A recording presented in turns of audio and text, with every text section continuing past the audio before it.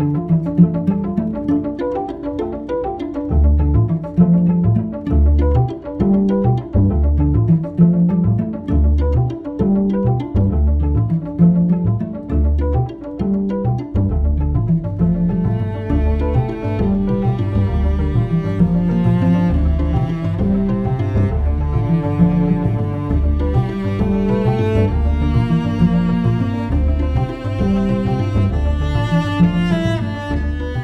kindness is something I think everyone can afford, everyone around the world.